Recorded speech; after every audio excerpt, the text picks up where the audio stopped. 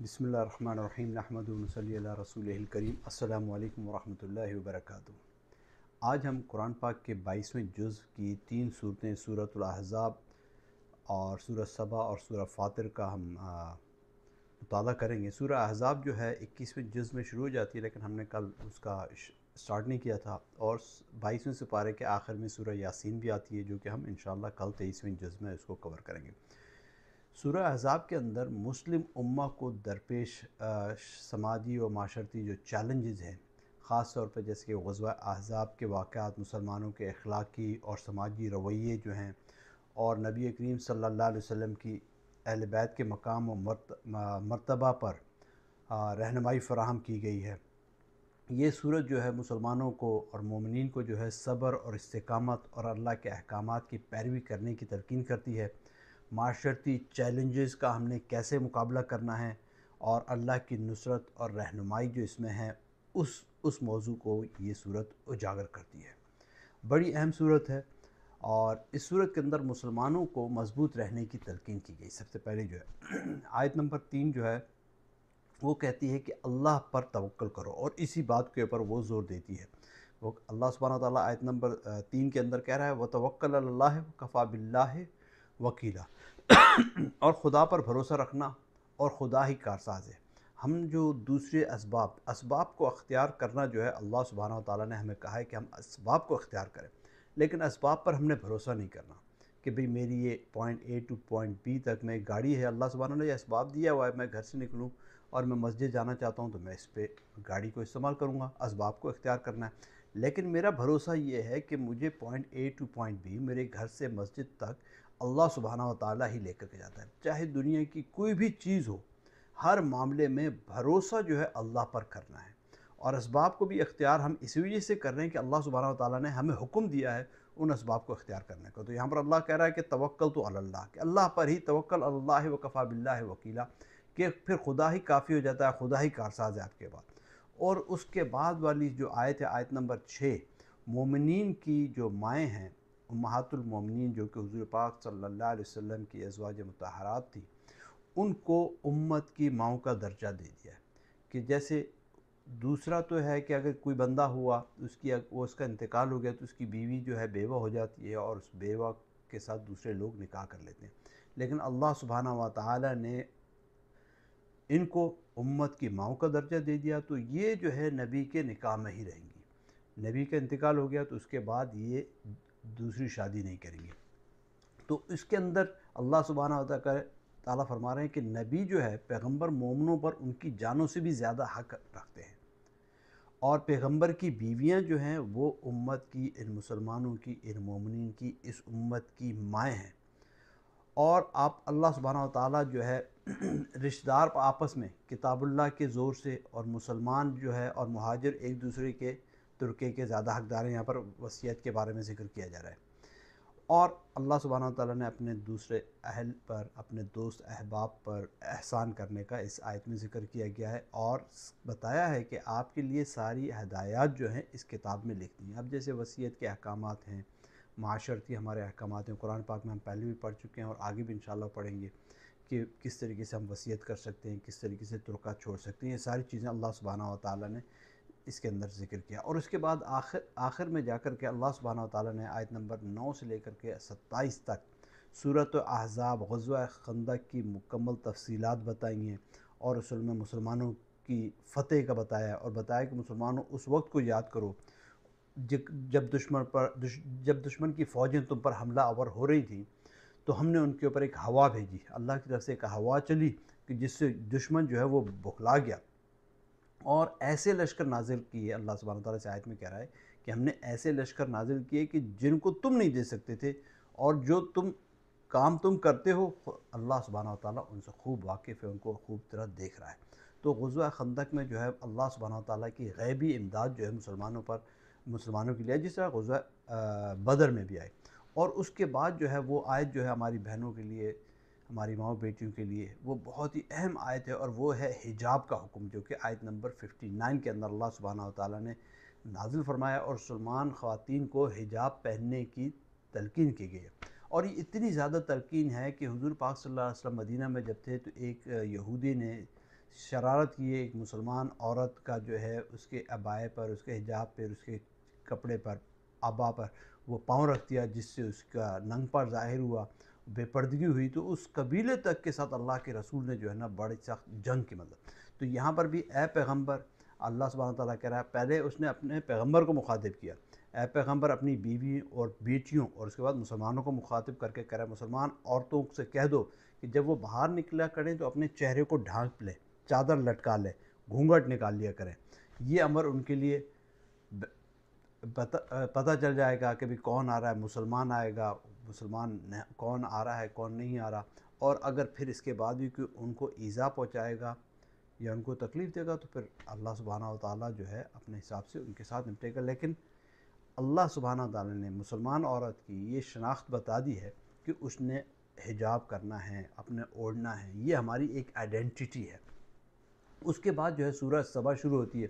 सूरज सबा के अंदर मरकज़ी जो मौजू है, अल्लाह की कुदरत है नबूत है, आखरत के ऊपर ईमान है, आखरत की हकीकत है और जो तारीख़ी अकवाम जो पहले गुजर चुकी हैं, सबा के अरूज लाजवाल की किस्सों के ज़रिए इंसान को जो दरपेश मसाइल पेश होते हैं, उनके बारे में बताया। इस सूरत में हज़रत दाऊद आसमाम हज़रत सलेमान की बादशाहत और अल्लाह की अता करदा ख़ास कुदरतों का बयान है। हज़रत दाऊद आसमाम को भी अल्लाह सुबहाना ने बेख्तियार क़वत दी थी कि लोहा उनके हाथ में मोम बन जाता था, उनको बादशाह दी सलेमान सलाम को अल्लाह सुबहाना ताला ने बहुत बड़ी सल्तनत, हर चीज़ उनके ताबे कर दी, इंसान, जिन, हवाएँ, परिंद, ये सब अल्लाह सुबहाना ताला उनके ताबे की। ऐसी बादशाहत न पहले किसी को मिली, ना आइंदा कभी किसी को मिली, मिलेगी।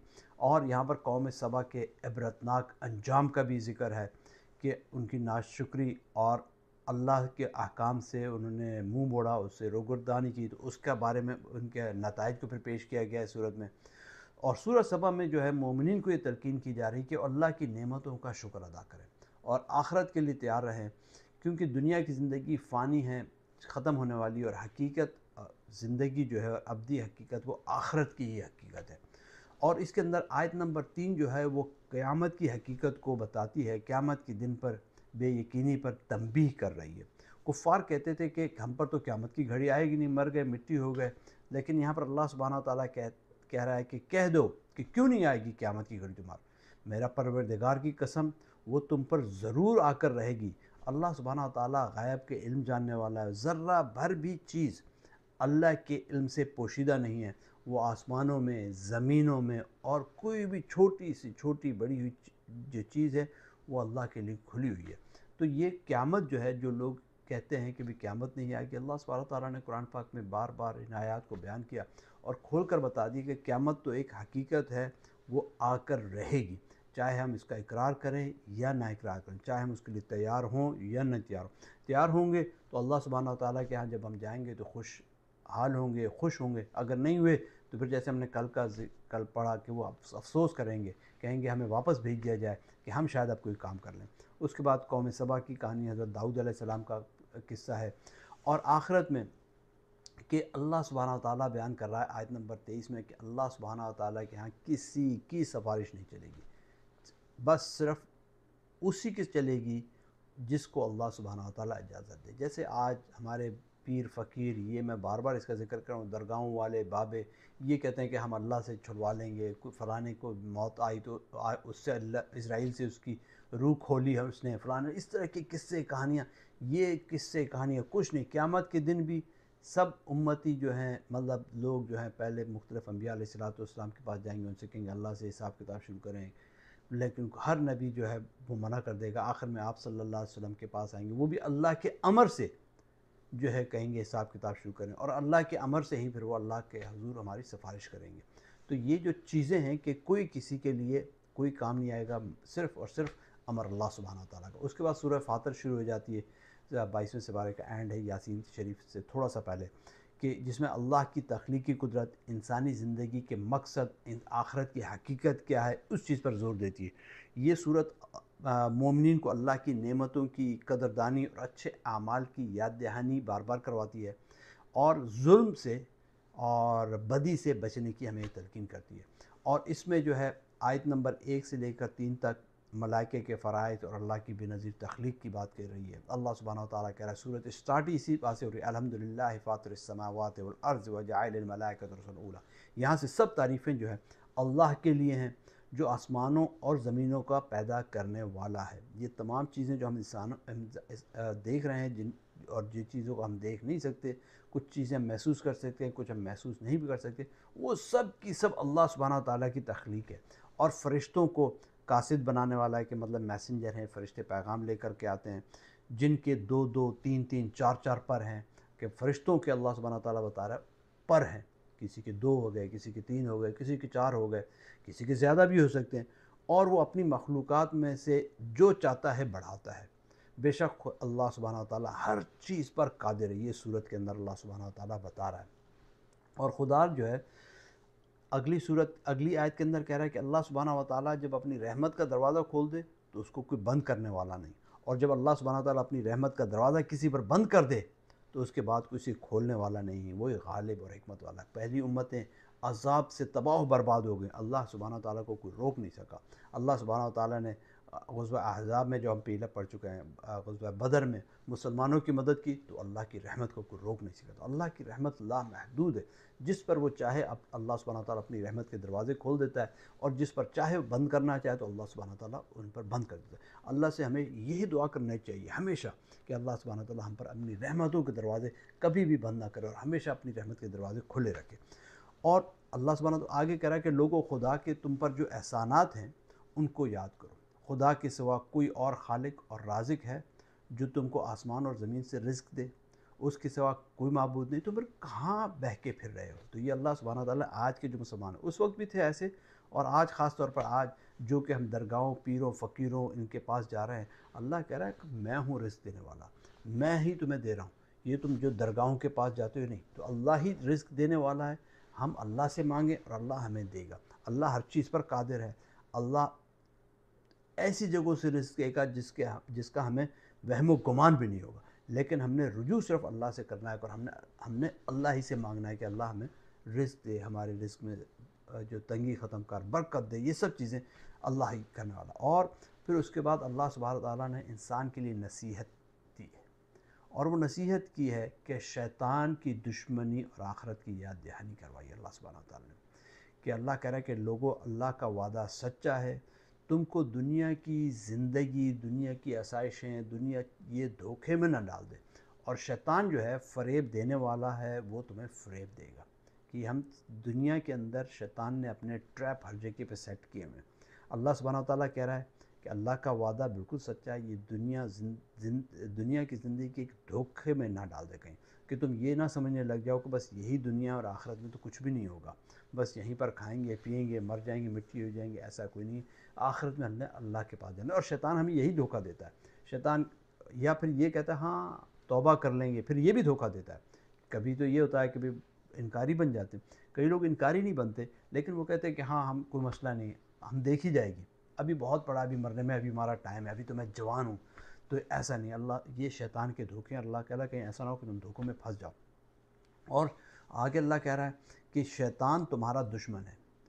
तुम्हें, तुम भी उसे दुश्मन ही समझो। अल्लाह सुबहाना ताला ये हमें एडवाइस कर रहा है इंसानों को कि शैतान हमारा दुश्मन है और हम भी उसे दुश्मन समझे। वो अपने पैरोकार शैतानों के भी चेले हैं। उनको वो ग्रोहों को बुलाता है ताकि तुम दोजख वालों में से हो जाओ। तो शैतान ने अपने ट्रैप सेट किए। उन पर उसने अपने अपने कारंदे बनाए हुए हैं। कुछ चीज़ें हम ऐसी लगती हैं, बड़ी खुशनुमा चीज़ें हैं, बड़ा अच्छा लग रहा है, बड़े अच्छे लोग हैं, लेकिन हकीकत में वो शैतान के चेले हो रहे हैं कि जो हमें अपने एक फंदे में फंसा रहे हैं, हमें एक ट्रैप में फंसा रहे हैं, ताकि हम अल्लाह के रस्ते से हटकर उसके रस्ते पर चलने वाले बने अल्लाह सुबहान ताली हमें शैतान के रस्तों से बचाए। और उसके बाद आयत नंबर बाईस के अंदर, यहाँ पर जो है, फिर बार में वही बात आ रही है, गैब का इल्म। गैब का इल्म जो है, वो सबर अल्लाह सुबहाना ताली के पास है। तो पहले जो है, पहले हम कहते हैं, आयत नंबर 38 के अंदर कह रहा है कि इन आलमगैबसमावत इन नलीम बेज़ात सदूर। कि बेशक खुदा ही आसमानों में और ज़मीन की पोशीदा बातों को जानने वाला है। वो तो दिलों के भेदों तक से वाकिफ़ है। अगर कोई ये दावा करता है कि उसको गैब का इल्म है तो वो बिल्कुल कज़ाब है, झूठा है, धोखेबाज है, फ्रॉडिया है। दिल का हाल जानने वाला सिर्फ़ और सिर्फ़ अल्लाह की ज़ात है। या नबी, वक्त के नबी पर अल्लाह सुबहाना ताली कुछ बातें वही के ज़रिए ज़ाहिर कर देता है, वरना नबी को भी दिल का हाल का मालूम नहीं तो हर चीज़ जो है वो अल्लाह सुबहाना ताली के इल्म है। अब इस आयत को अगर हम थोड़ा सा और पीछे चले हैं, आयत नंबर 22 में, कि जिसके अंदर और ना ज़िंदा और मुर्दे बराबर हो सकते हैं, इसको इस आयत, जो आयत नंबर अट्ठा अड़तीस है, उसके साथ मिलाकर पढ़ें, कि खुदा जिसको चाहता है सुना देता है और तुम उनको जो कब्रों में मदफून हैं नहीं सुना सकते। कुछ लोग ये जाते हैं ना कब्रों पे जाकर, कहते हैं कि भैया बाबा हमें दे दे, ये हमें ये कर दे, हमारी ये मन्नत पूरी कर दे, बेड़ी पार लगा दे, चिश्ती। तो ये सब चीज़ें जो है अल्लाह सुबहाना ताला कहता है कि ज़िंदा और मुर्दे बराबर हो सकते हैं। नहीं, ऐसा नहीं हो सकता। और खुदा जिसको चाहता है सुना देता है, सुनाता है, लेकिन वो हमारी मुराद पूरी करेगा। ऐसा कभी भी नहीं हो सकता। और जो तुम तुम अगर चाहो कि कब्रों में कोई बैठा हुआ है, कब्रों में जो मरा हुआ है जो हज़ारों लाखों पहले साल, पहले सैकड़ों साल पहले गया, या आज मर गया, उसको हम कुछ सुना सकें तो हम उसको जो कब्रों में मदफून है, उनको नहीं सुना सकते। हाँ जिनको अल्लाह सुबहाना ताली अपने इज़न से कुछ सुनाना चाहे तो सुना सकता है। तो अल्लाह सुबहाना ताली जो है, हमें अपने ऊपर, ये इसका जो हमारा ईमान है, यकीन है, इसको पुख्ता करें, वरना लोगों का जो है, ईमान बिगड़ते हुए कोई देर नहीं लगती। तो फिर आखिर में अल्लाह सुबहाना ताली जो है, हमें जो है, नेक काम करने की तोफ़ी अता फ़रमाए, नेक लोगों की सोहबत नसीब फरमाए, और बुराई से बचने की तोफ़ी नसीब फरमाए। और शैतान के पंजे में, शकंजे में हमें फंसने से बचाए। आमीन। जजाक खैर। असल वरहमल रहमतुल्लाहि व बरकातुहू